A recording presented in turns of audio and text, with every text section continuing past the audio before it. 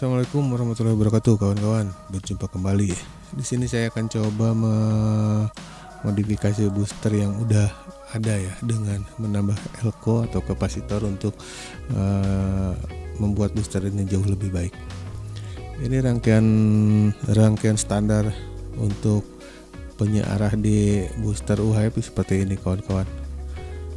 Ini pakai 100 mikrofarad 25 volt untuk tabel arusnya diodanya pakai 1 ampere karena memang trafonya kecil banget di bawah 500 mA nah, kita akan coba nanti diukur di titik ini di titik ini uh, bentuk gelombangnya seperti apa tegangannya berapa nanti biar kita uh, biar kita tahu lah berapa kap elko atau kapasitor yang dibutuhkan untuk lebih menstabilkan tegangan yang masuk ke booster.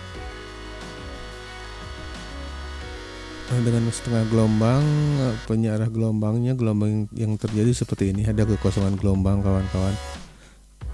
Seperti yang diterangkan di video sebelumnya.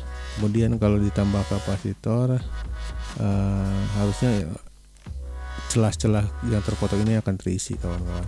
Cuman karena kecilnya kapasitor yang dipakai dari pabrikan ya nggak sepenuhnya terisi kekosongan itu seperti ini kawan. Jadinya masih ada gelombang uh, gigi gergaji yang terjadi. Nah jadinya seperti ini. Nanti kita praktekkan apakah betul uh, terjadi gelombangnya seperti ini. Tidak rata DC kalau DC kan harusnya rata. Nah di sini terjadi penurunan tegangan lagi karena karena uh, elko kapasitor udah kehabisan tegangan buat mengisi ke eh, ke kosongan arus ya buat mengisi ini. Yang diharapkan kan kekosongan ini terisi sama uh, elko.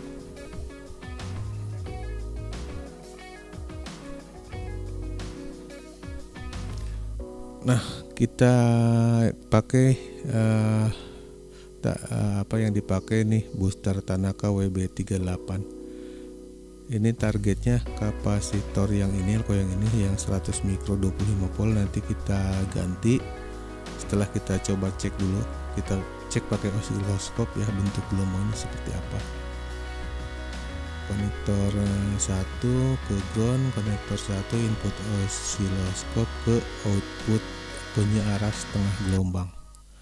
Kita lihat tegangannya seperti apa bentuknya dan ukurannya berapa nah ini kita gunakan osiloskop mini osiloskop yang kecil kawan.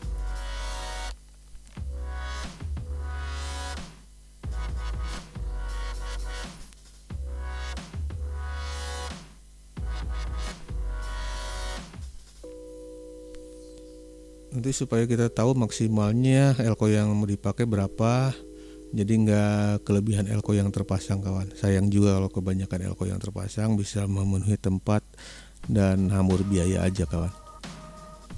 Elko yang yang akan saya pakai yang ini nih. Kebetulan nemunya cuma nilainya segini yang 1000 mikro 25 volt cabutan dari power supply ini kawan. Ini ter bentuk gelombang sebelum ditambah kapasitor masih ada riak gelombang masih ada terdetek 50 Hz tegangan masih 19 volt setelah terpasang nih 16,9 volt ada penurunan tegangan. DC nya juga lebih stabil. Kita coba lagi. Nah dengan 1000 mikrofarad udah cukup lah kawan-kawan. Udah menyetabilkan tegangan searahnya. Seperti itu. Kenapa ada penurunan tegangan kawan-kawan? Ternyata memang eh, si traponya kurang mumpuni kurang begitu besar. Jadi ketika eh, si arus tegangan ini ada kekosongan untuk mengisi elko ada penurunan tegangan.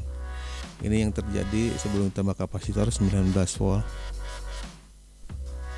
Kemudian nah seperti ini kita ibaratkan seperti ini kapasitor kosong ini ya.